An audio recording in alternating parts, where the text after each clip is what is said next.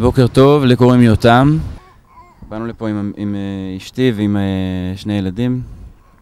הם לא יכולים להקים עדיין אוהל, אז אנחנו בעצם הקמנו אותו בשבילם. כי בעצם אה, התוצאות של. של המאבק הזה, אם זה מאבק, אם זה מחאה, אם זה מהפכה, אני עדיין לא יודע איך קוראים לזה. אני חושב שאף אחד לא יודע איך קוראים לזה בגלל שלא קרה כזה דבר כאן אף פעם.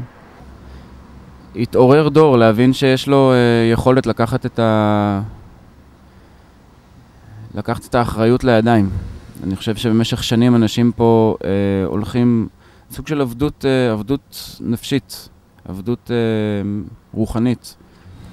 אני חושב שהמחאה, המהפכה, המאבק הזה יכול ללכת הכי גבוה שהוא, שהוא לשאוף להכי גבוה, אפשר אה, לדרוש חוקה, אפשר... אה, די, מספיק עם, ה, מספיק עם השטויות. צריכים, צריכים להחליט לאן המדינה הזאת הולכת. האם הציונות היא אידיאולוגיה אה, טריטוריאלית או אידיאולוגיה ערכית?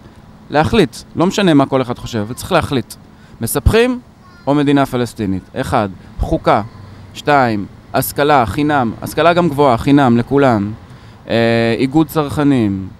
אה, פשוט, פשוט להפוך את זה למדינת רווחה, מה שזה היה אמור להיות. שבת שלום.